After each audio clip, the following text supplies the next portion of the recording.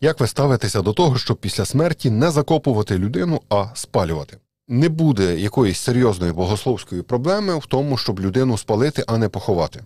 Якщо людина е, в землі розкладається, з неї також нічого не залишається протягом років, там, тисячоліть і так далі. І е, переживати про те, що Господь Бог не воскресить людину, тому що вона була спалена, ну це банально нерозуміння того, яким чином це все відбувається.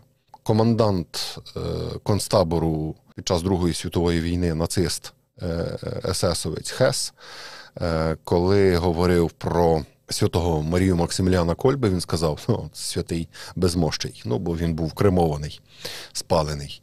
Е, Тому не слід цього боятися якось так спеціально. Якщо є можливість поховати, то в нашій традиції так заведено, щоб людей все-таки ховати в землі. Але з'являються нові проблеми. Наприклад, е, більшість людей стає мешканцями все-таки великих міст, мегаполісів, і в дуже багатьох містах є дуже великою проблемою знайти місце на поховання. Тому говориться про цю кремацію, про це спалення. Е, Так що, якби хтось це робив з таких якихось е, міркувань. Економії місця того самого, яке, на жаль, стає тепер вже реальним, то гріха в цьому ніякого не буде. Натомість, якщо хтось буде займатися кремацією, наприклад, так як полк Азов, е, керуючись язичницькими якимись переконаннями, е, то це вже так, це вже йде в розріз із християнством.